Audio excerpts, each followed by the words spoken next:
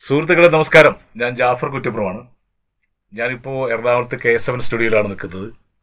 വളരെ എന്നെ സംബന്ധിച്ച് വളരെ സന്തോഷമുള്ള ഒരു ദിവസമാണെന്ന്. കാരണം ഞാൻ അഭിനയിച്ച യുവ സംവിധായകനായ ഫൈസൽ ഹുസൈൻ എന്റെ അടുത്ത സുഹൃത്തുവായ ഫൈസൽ ഹുസൈൻ സംവിധാനം നിർവഹിച്ച കട്ടപ്പാടത്തെ മാന്ത്രിക എന്ന സിനിമയുടെ ഡബ്ബിംഗ് വേളയിലാണ്.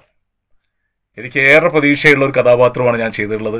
മാത്രമല്ല ഈ സിനിമയ്ക്കകത്ത് എന്നെ കൂടാതെ എന്നെ പോലെ ഒരുപാട് പുതുമുഖങ്ങൾ മലയാള സിനിമയിലേക്ക് കടന്നു വരാൻ ആഗ്രഹിക്കുന്ന ഒരുപാട് പുതുമുഖങ്ങളിൽ നല്ല വേഷത്തിൽ അഭിനയിക്കുന്ന ഒരു വലിയ മാസ ചിത്രമാണ് എല്ലാ അർത്ഥത്തിലും.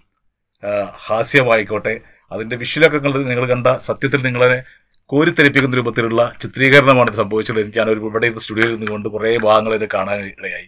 എന്തായാലും എല്ലാവരെയും സന്തോഷിപ്പിക്കുന്ന ഒരു കുടുംബ ചിത്രമാണ് കട്ടപ്പാടത്തെ മാന്ത്രികൻ. ഇതിനകത്ത് വിനോദ് കോവൂരുണ്ട്.